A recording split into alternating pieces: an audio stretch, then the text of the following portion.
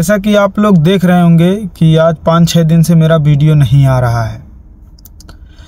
तो रीज़न यही है कि कुछ बातों को लेकर मैं बहुत परेशान हूँ और बहुत ज़्यादा उलझा हुआ हूँ भाई। समझ में नहीं आ रहा है कि मैं क्या करूँ। मैं अपने दिल की बातें बता रहा हूँ, क्या बात है। एक तरफ़ मेरी रोजी है और एक तरफ़ मेरी फैमिली है और एक तरफ़ मेरी ज़िंदगी, मेरी करियर, मेरा सपना सोशल मीडिया है। और उसके बाद ये कफील है, जिससे मैंने छुट्टी मांगा। तो क्या बोला है कि ढाई तीन महीने की छुट्टी देगा। और मैं ढाई तीन महीने में कुछ कर नहीं पाऊँगा, क्योंकि मुझे सोशल मीडिया पे अच्छे से काम करना है और अपने सपना को साकार करना है। तो फिर मैं सोच रहा हूँ कि यार कैंसिल लगा के चला जाऊँ, अगर भाई लोग सपोर्ट कर दिए तो ज़िंदगी कामयाब हो जाएगी। फिर सोच रहा हूँ कि अगर कामयाब नहीं हो पाया तो मेरा ये रोज़ी छूट जाएगा और दोबारा पता नहीं ऐसा घर मिलेगा कि नहीं मिलेगा। कहीं नहीं सक्सेसफुल हो पाया। और फिर सोचता हूँ कि छुट्टी चला जाऊँ तो अगर कहीं मैं टाइम से वहाँ से इंडिया से वापस नहीं आ पाया तो मेरा पाँच छः साल का यहाँ बैन हो जाएगा सऊदी। फिर मैं कहीं नहीं आ पाऊँगा। यार, बहुत परेशान हूँ मैं, क्या करूँ यार? बाप लोग के ऊपर है। आप लोग अगर सपोर्ट करेंगे तो मैं आ जाता हूँ। क्योंकि मुझे सपोर्ट ही चाहिए वहाँ। मैं एक ज़िम्मेदार लड़का हूँ यार, अगर मेरी रोज़ी छोड़ के आऊँगा तो कहीं ऐसा ना हो मैं परेशान हो जाऊँ, क्योंकि मेरे ही ऊपर सारी जिम्मेदारियाँ हैं। घर खर्चा, हर चीज़ अपना भी एक एक रुपए का मोहताज हो जाऊँगा।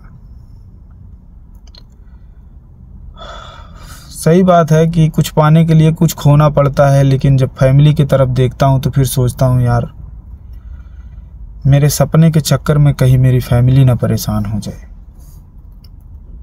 मैं क्या करूँ यार? अब आप लोग ही बता दो। कैंसल आ जाऊँ कि छुट्टी आ जाऊँ?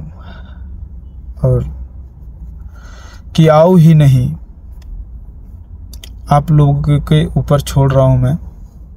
कमेंट करके ज़रूर बताइएगा कि क्या आप लोग सपोर्ट करेंगे हमको इंडिया आने के बाद अच्छे से। तो मैं खुले मन से तैयारी करता हूँ आने के लिए इंडिया। जो होगा देखा जाएगा। यार, काश कोई होता हमारी ज़िंदगी में जो ये कहता कि, बाबू तुम जाओ तुम्हारी सारी तकलीफ़ें हम देख लेंगे। कसम से जी जान लगा देता, इतना मेहनत करता और आप लोग को इतना अपने अंदर की जो टैलेंट थी सब दिखा देता और ढेर सारा आप लोग को खुश रखता सोशल मीडिया पे। लेकिन क्या करूँ यार, सारी ज़िम्मेदारी ही मेरे सर पे है।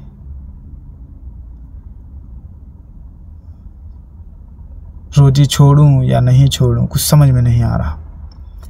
और दो ढाई तीन महीने में मैं अपना सपना पूरा नहीं कर पाऊँगा सोशल मीडिया पे, क्योंकि यहाँ से जाऊँगा एक आध महीना तो मुझे सब कुछ सेट करने में ही लग जाएगा।